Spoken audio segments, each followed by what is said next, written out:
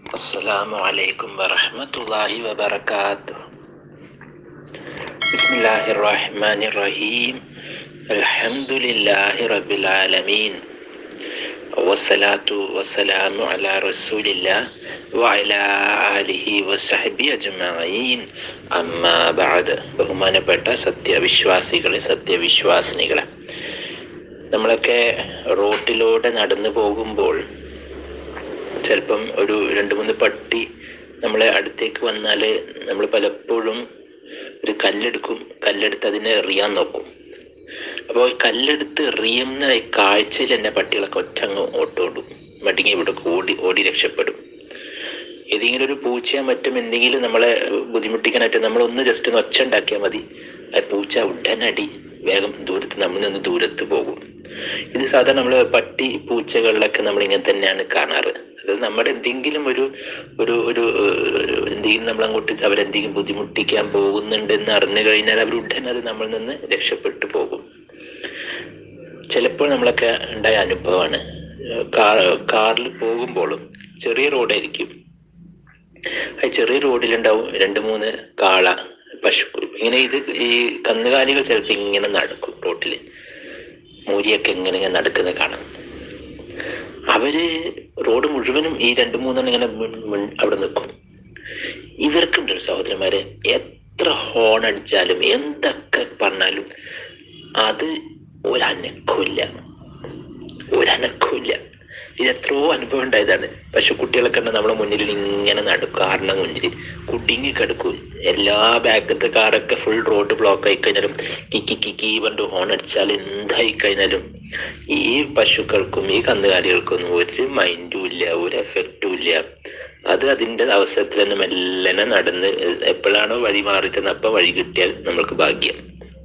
ഇത് നമ്മൾ ഒരുപാട് കണ്ടതല്ലേ സഹോദരന്മാര്? ഒരുപാട് ഒരുപാട് തവണ നമ്മൾ കണ്ടതല്ലേ?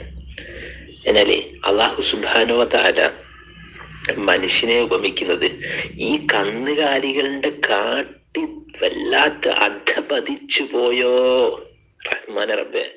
ഞാൻ അത്ഭുതപ്പെട്ടു പോയിട്ടുണ്ട്. കന്നുകാലികൾ പോൽ അവർക്ക് പോലും ഒരു ഹോൺ അടിച്ചിട്ട് പോലും ഒരു അനുഖമില്ല ഒരു കുലുക്കമില്ല. എന്നാൽ നമ്മൾ മനുഷ്യ സമുദായമോ അതിനെക്കാട്ടി മോശമായി പോയോ എന്തായി മനുഷ്യന്മാര് ചിന്തിക്കാത്തത്? എന്തൊക്കെ നിപ്പ വന്ന് പ്രളയം വന്ന് കൊറോണ വന്ന് കണ്ണുകൾ തുറക്കുന്നില്ല.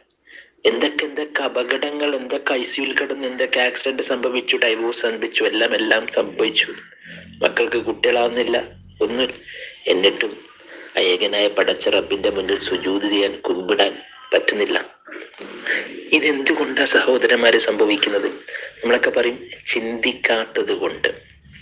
സത്യം പറഞ്ഞാൽ ചിന്തിക്കാത്തത് കൊണ്ടല്ല.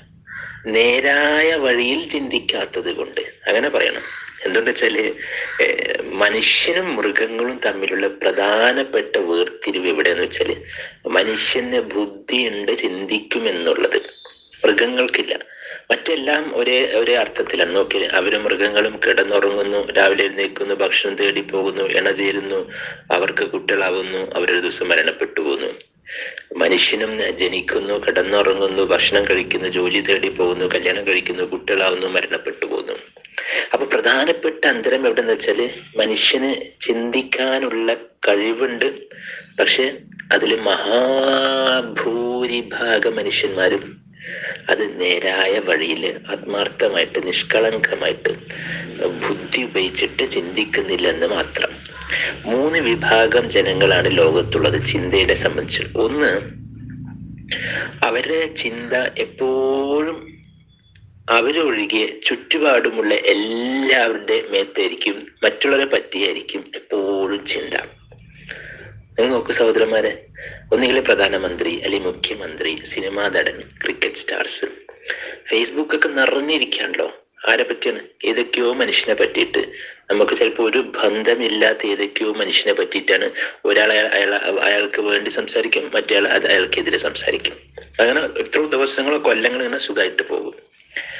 ഇനിയിപ്പോ നമ്മൾ ഒരുപാട് പേര് അങ്ങനെ ഈ ഈ രാഷ്ട്രീയം സിനിമയും സംഗീതം സ്പോർട്സും ഒന്നും ഇല്ലാത്ത ആൾക്കാർ ഒരുപാട് പേരുടെ കുഴപ്പമില്ല. കുടുംബത്തിൽ അവനവനെ പറ്റി അവനവനെ മാറ്റി നിർത്തി മറ്റു എല്ലാരെയും പറ്റി ചിന്തിക്കും. ഈ മറ്റു എല്ലാതിനെ പറ്റി ചിന്തിക്കുമ്പോൾ രണ്ട് മൂന്ന് അപകടങ്ങൾ സംഭവിക്കുന്നുണ്ട്. ഒന്ന് ശ്രദ്ധിച്ചിട്ടുണ്ടോ അറിയില്ല. നമ്മൾ മറ്റുള്ളവരെ പറ്റി ചിന്തിക്കുമ്പോൾ രണ്ട് കാര്യം ഒന്ന് ചിലപ്പോൾ ചിലർക്ക് വരും. ഒന്ന് സ്വാഭാവികമായിട്ട് അസൂയ വരാൻ സാധ്യതയുണ്ട് സഹോദരന്മാരെ. മറ്റുള്ളവരെ മറ്റുള്ളവരെ പറ്റി ഒന്ന് ചിന്തിച്ചാൽ പഠിച്ചോനെ ആ ഡോക്ടറിന് അവിടെ തന്നെ സർക്കാർ ജോലി അടുത്തുണ്ട് വീട് കോഴിക്കോടിന് മാതാപിതാക്കൾ അടുത്തുണ്ട്. ഹായ് അപ്പോൾ ഇതിങ്ങനെ ചിന്തിച്ചു തുടങ്ങിയാൽ അവർക്ക് എന്താ അസൂയ വന്നിടും. അസൂയ വന്നിടും. വലിയ അപകട വലിയ അപകടം പിടിച്ച ചിന്തയാണ്. അതായത് മറ്റുള്ളവരുടെ അനുഗ്രഹങ്ങൾ കാണുമ്പോൾ ഒരു തരം ഒരു മനസ്സിലൊരു എന്തൊക്കെയോ തോന്നൽ ഒരു സുഖമില്ല. ഈ അനുഗ്രഹങ്ങൾ എടുത്ത് മാറ്റുമ്പോൾ ചെറിയ ഒരു ഒരു ആശ്വാസ സന്തോഷമൊക്കെ കിട്ടുന്നുണ്ട് മറ്റുള്ളവർക്ക് മറ്റുള്ളവർക്ക് എന്ത് ചെയ്യുന്ന? അനുഗ്രഹം നഷ്ടപ്പെട്ടു. മറ്റുള്ളവർക്ക് കൊറോണ ബാധിച്ച്. മറ്റേ മക്കൾ പരീക്ഷ അങ്ങനെ റാങ്ക് കിട്ടിയില്ല. അപ്പോൾ ഒരു ചെറിയൊരു ആശ്വാസം കിട്ടും. നല്ലോണം ചിന്തിച്ച സഹോദരന്മാർ ഇതൊക്കെ മനുഷ്യന് വികാരങ്ങളാണ് ഇനി ഈ അസൂയിലോട്ട് ഉണ്ടാകുന്ന രണ്ടാമത്തെ പ്രശ്നം എന്താ അറിയോ? എപ്പോഴും നിരാശരാകും സ്വാഭാവികമാണല്ലോ. നമ്മൾക്ക് അനുഗ്രഹങ്ങൾ നോക്കിക്കഴിഞ്ഞാൽ തീർച്ചയായിട്ടും ദുനിയാവിൽ ചുറ്റുപാടും ഓരോ മനുഷ്യരും നോക്കുമ്പോൾ നമ്മളെക്കാട്ട് അനുഗ്രഹീതരായ ഒരുപാട് പേരെ കാണും. അത് സാമ്പത്തികമാവട്ടെ അല്ലെങ്കിൽ ഭൗതികമാവട്ടെ അല്ലെങ്കിൽ വിജ്ഞാനപരമായിട്ടാവട്ടെ ജോലിയിലാവട്ടെ മക്കളിലാവട്ടെ എന്തിലുമാവട്ടെ വീടാവട്ടെ എന്തും ആവട്ടെ അപ്പൊ ഭൗതികമായി നോക്കുമ്പോൾ നമ്മളെക്കാട്ടി സുഖമായിട്ട് മറ്റാരും ജീവിക്കുന്ന കാണുമ്പോൾ സ്വാഭാവികമായിട്ട് മനുഷ്യനുണ്ടാകാൻ പോകുന്ന വികാരമാണ് നിരാശ ദുഃഖം. എന്തൊരു സങ്കടം നമുക്ക് മാത്രം എന്താ പഠിച്ചു മറ്റുള്ളവർക്കൊക്കെ നോക്കി എന്താ സുഖമായിട്ട് ജീവിക്കുന്നു അപ്പോൾ ഒരുപാട് പേര് മറ്റുള്ളവരെ പറ്റി ചിന്തിക്കുമ്പോൾ ഉള്ള നിരാശയും അസൂയിലാണ് ഒരുപാട് പേര് ജീവിച്ചു പോകുന്നത്. ഇനി വേറെ വിധത്തിൽ ഈ മനുഷ്യന്മാർക്ക് അവനവനെ പറ്റി ചിന്തിക്കാത്തത് കൊണ്ട് അവനവൻ നന്നാകുന്നുമില്ല. ഇനി അവനവനെ പറ്റി ചിന്തിക്കുകയാണെങ്കിൽ എന്നെ പലർക്കും ഉള്ള കുഴപ്പം എന്താ? കിബിറ് വരും. കിബിറ് വരും. ഏയ് ഞാൻ അവരെക്കാട്ടി നല്ല ദീനിയാണ്. ഞാൻ അവർക്ക് അവരെക്കാട്ടി നല്ല പേരും പ്രശസ്തിയും പദവിയും സ്ഥാനമാനങ്ങളും എന്റെ മക്കൾ കണ്ടില്ലേ എന്റെ വീട് കണ്ടില്ലേ എന്റെ കാറ് കണ്ടില്ലേ എന്റെ ജോലി കണ്ടില്ലേ. ഞാനെന്ത് സുഖമായിട്ടാണ് ജീവിക്കുന്ന ദിവസം എന്താ അടിച്ചു പൊളിച്ചാ ജീവിക്കുന്നത്?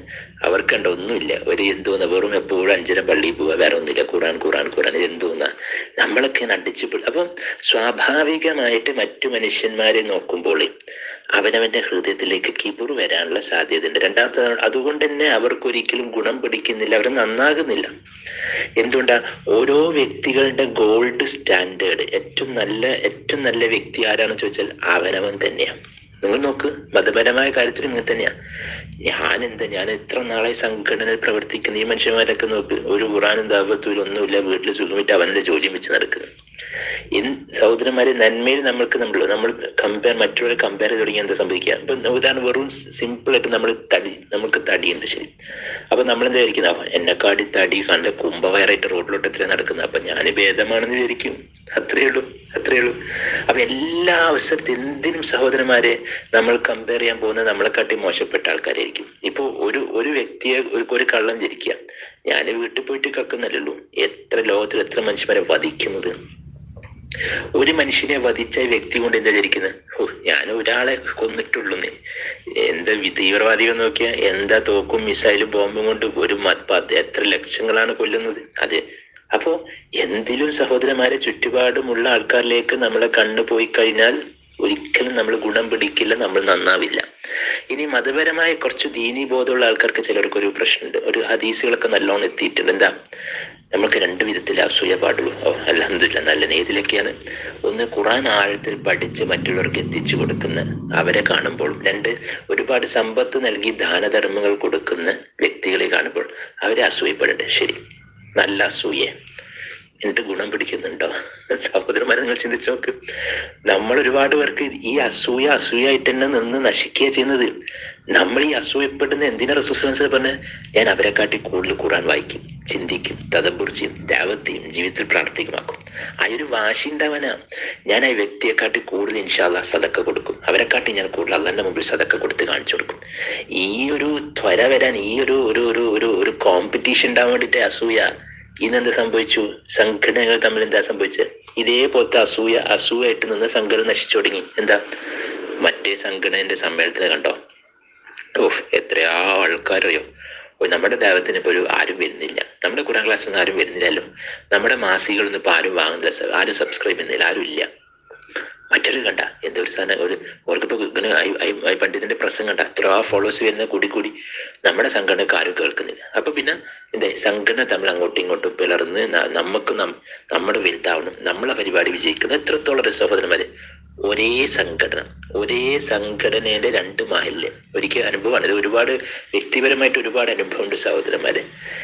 ഒരേ ഒരേ സംഘടന രണ്ട് മഹല്ല് ഒരു നല്ലൊരു പരിപാടി നല്ലൊരു നല്ല പണ്ഡിതന്മാരെ വെച്ച് നല്ല സദസ്സിൽ ക്ലാസ് ഒക്കെ ഉണ്ടാകുമ്പോൾ അവിടെയും പോലും അങ്ങോട്ടും ഇങ്ങോട്ടും കോമ്പറ്റീഷൻ എന്താ? ആര് നടത്തണം? നമ്മൾ നടത്തിക്കോളും. എന്താ? നമുക്ക് അതിന് ക്രെഡിറ്റ് കിട്ടണം. നമ്മുടെ മഹലിന് ക്രെഡിറ്റ് കിട്ടണം. അപ്പൊ രണ്ടുപേർക്കും അവനവന്റെ മഹലിൽ ക്രെഡിറ്റ് കിട്ടണം. എന്ത് സംഭവിച്ചു? ആ പരിപാടി തന്നെ ക്യാൻസൽ ആയി. ഒന്നും നടന്നില്ല. ഒന്നും നടന്നില്ല. അതിന് മുമ്പ് ഒരു പത്ത് പതിനഞ്ച് മീറ്റിംഗ് നടന്നല്ലാതെ വേറെ ഒന്നും നടന്നില്ല. ഇത് സംഘടനയിലുള്ള പ്രശ്നം. എന്താ അവിടെ പ്രശ്നം വരുന്നത്? ക്രെഡിറ്റ് നമുക്ക് വേണം. ക്രെഡിറ്റ് നമുക്ക് വേണം. ക്രെഡിറ്റ് കിട്ടിക്കോട്ടെ ആർക്കും കിട്ടട്ടെ.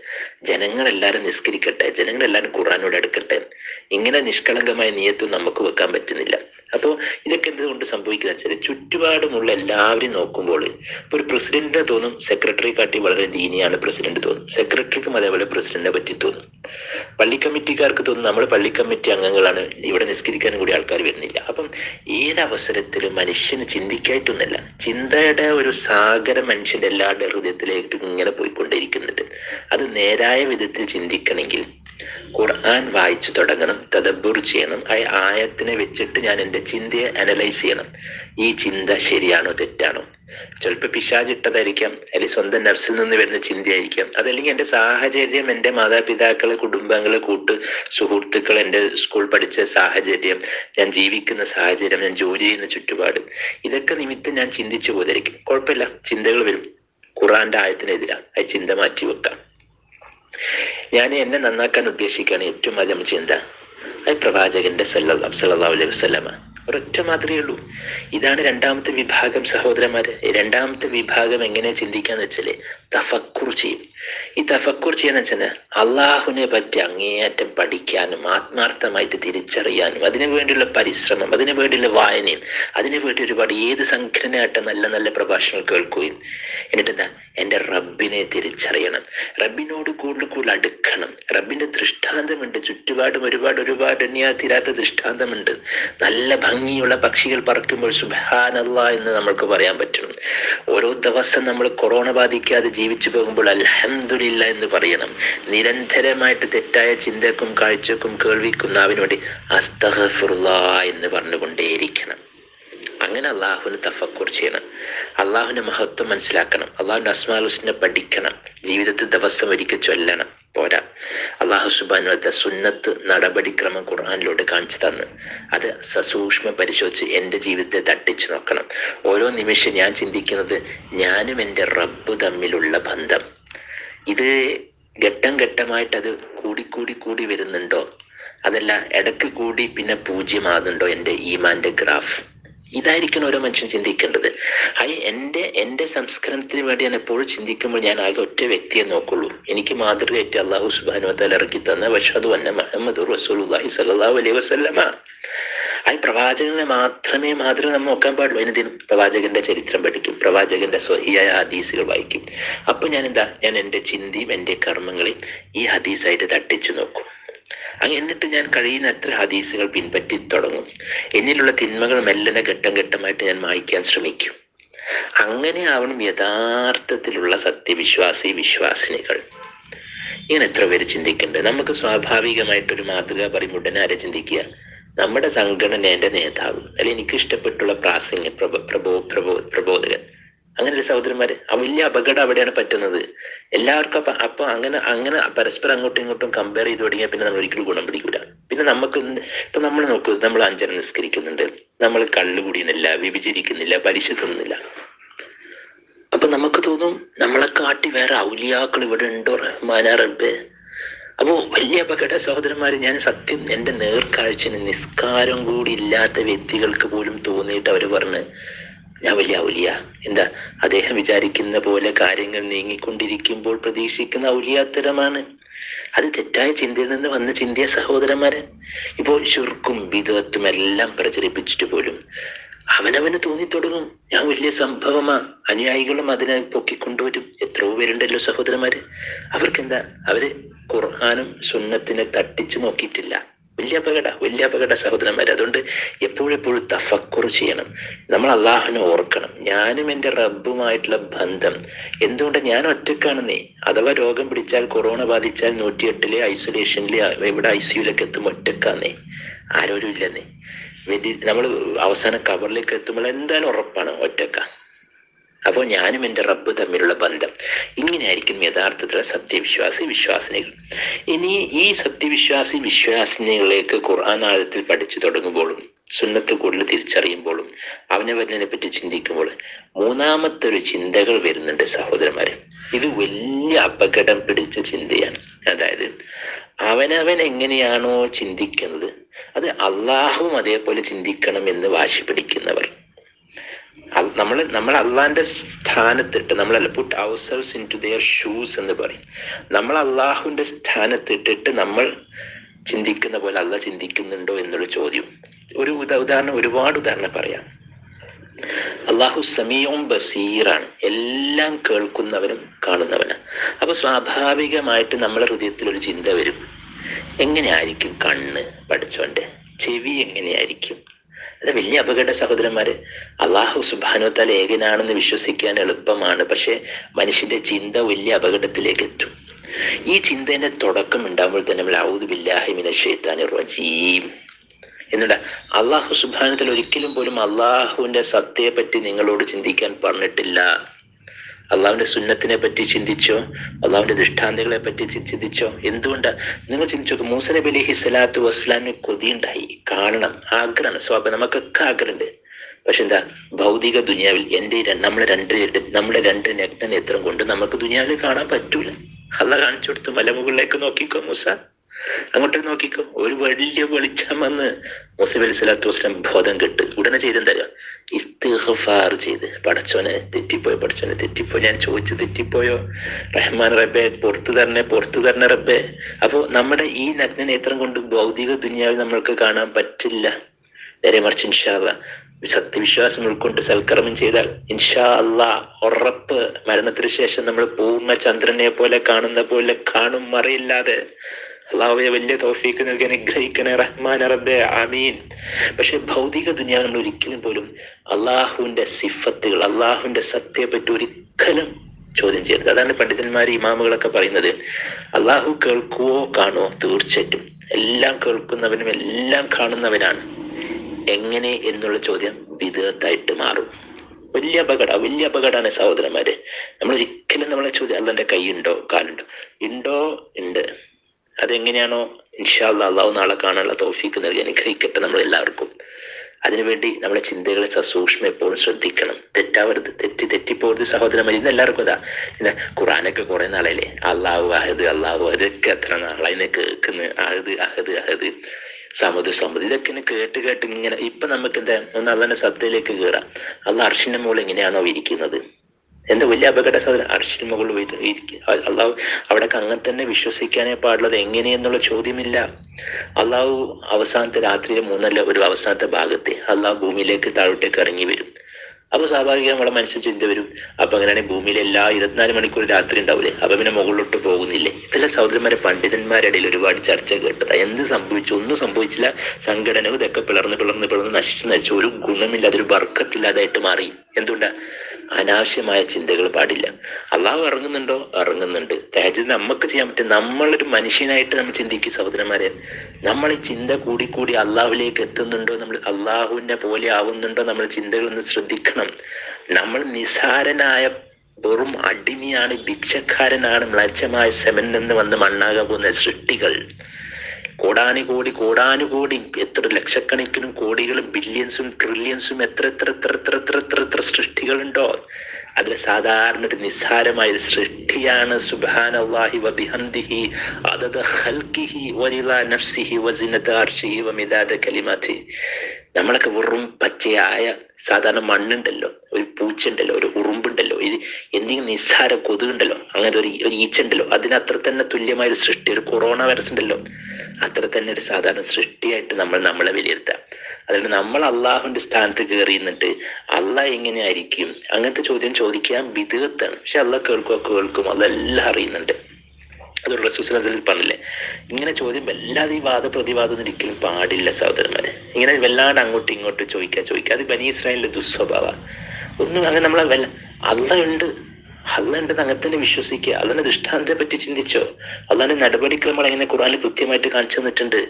അതുകൊണ്ടാണ് റസൂസൻ സമയം ചിലപ്പോൾ ചോദിച്ച് ചോദിച്ച് ചോദിച്ച് ചോദിച്ചൊരു ചോദ്യം വരും. എന്താ? ഇപ്പൊ അടച്ചോനെ സൃഷ്ടിച്ചത് ആരായിരിക്കും? ഔദുബില്ലാഹിമിനെ ഷെയ്ത്താൻ ഇവിടെ തീർന്നു. ആ ചിന്ത തെറ്റാണ്. ആ ചിന്ത തെറ്റ്. അതിന് വാദപ്രതിവാദത്തിനുണ്ട് ഉത്തരം നൽകാനൊന്നും വേണ്ട. നിങ്ങൾ ആവശ്യമില്ല. നിങ്ങൾക്ക് നിങ്ങളുടെ ദേഹത്തിലേക്ക് നോക്കിയാൽ മതി. കൃത്യമായിട്ട് ധാരണ ഉണ്ടാകും. അള്ളാഹുവിന്റെ അള്ളാഹു അള്ളാഹു എന്ന ഏകനായ സൃഷ്ടാവ് ഉണ്ട് എന്നുള്ള തിരിച്ചറിവ് നിങ്ങൾ സ്വന്തം നഫ്സിലേക്ക് നോക്കിയാൽ മതി. ഓരോ ചുറ്റുപാടും ഒന്ന് വിനയാന്യത്തിനായിട്ട് നിഷ്കളങ്കമായിട്ട് കണ്ണുടിച്ചാൽ മതി. ഒരിക്കലും പോലും സഹോദരൻ പിന്നെ പിന്നെ സംഭവിക്കുന്നത് അറിയാം ഒരുപാട് പേർക്ക് ചിന്ത ചിന്ത. ഈ അള്ളാഹ്ക്ക് എന്തിനാ ഇങ്ങനെ ഇങ്ങനെ കുറേ മനുഷ്യനെ സൃഷ്ടിക്കുക? എന്റെ ഭൂമിയിൽ ഇങ്ങനെ കുറേ പരീക്ഷിക്കുക? എന്റെ മനുഷ്യന്മാരൊക്കെ കുറേ എന്തൊക്കെയോ കർമ്മം ചെയ്യുക? എന്നിട്ട് കുറച്ച് ആൾക്കാർക്ക് അല്ല സ്വർഗം കൊടുക്കും. അല്ല തന്നെ സ്വർഗം ഉണ്ടാക്കി വെച്ചിട്ടുണ്ട്.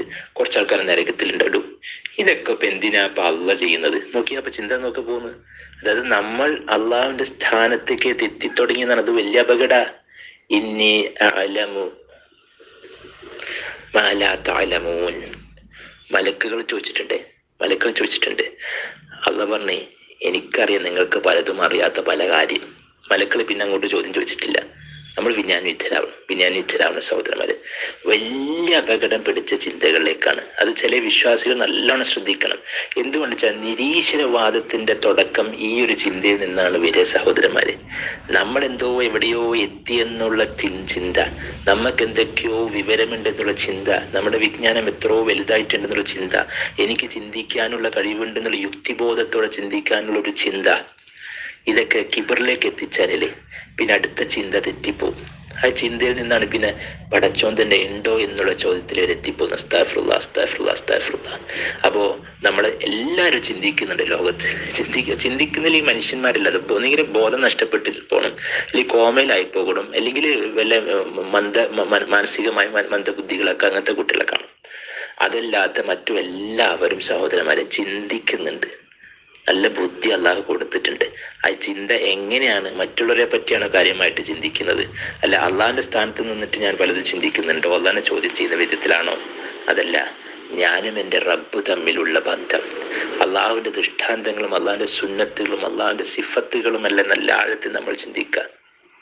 അള്ളാഹു അള്ളാഹു സംസാരിക്കുന്ന എനിക്കും കേൾക്കുന്ന ഓരോ വ്യക്തികളുടെ ഹൃദയത്തിന്റെ കണ്ണുകൾ നല്ലോണം തുറന്നിട്ട് കൊടുത്ത് അവനവനെ പറ്റി ആഴത്തിൽ ചിന്തിക്കാനും അവനവനും റബ്ബ് സുഭാനുവത്തായിട്ടുള്ള ബന്ധത്തെ പറ്റി കൂടുതൽ ചിന്തിച്ച് ഘട്ടം ഘട്ടമായിട്ട് അത് നന്നാക്കാനും സംസ്കരിച്ചെടുക്കാനും അള്ളാഹു ആത്മാർത്ഥമായിട്ട് അള്ളാഹു നീ വലിയ തൗഫീക്ക് നൽകി അനുഗ്രഹിക്കണേ റബ്ബെ. നമ്മുടെ ഈമാൻ ഘട്ടം ഘട്ടമായിട്ട് അള്ളാഹു ഒരുപാട് വളർത്തി തരണേ റഹ്മാൻ റബ്ബെ. സകലവിധ തെറ്റായ ചിന്തകളിൽ നിന്ന് നമ്മളെല്ലാവരെയും കാത്ത് സംരക്ഷിക്കണേ റഹ്മാൻ റബ്ബെ.